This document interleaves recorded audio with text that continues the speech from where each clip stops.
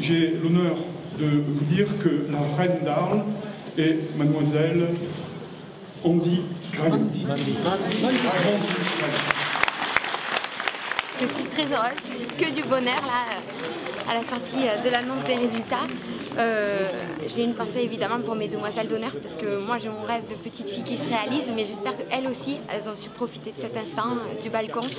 En tout cas j'en ai bien profité, c'était merveilleux de voir tout ce monde, euh, puis toutes ces têtes qu'on connaît qui sont fiers de nous, qui sont fiers de nous voir au balcon, c'est génial. Ça s'est fait tout seul, c'est depuis que je suis toute petite, je me costume, je parle provençal, voilà c'est mon art de vivre provençal et c'est l'aboutissement juste d'une vie d'arlésienne, d'une petite Myriette, d'une jeune fille qui a pris son ruban, qui l'a confirmé à Arles et qui aujourd'hui est reine d'Arles. C'est un conte de fées.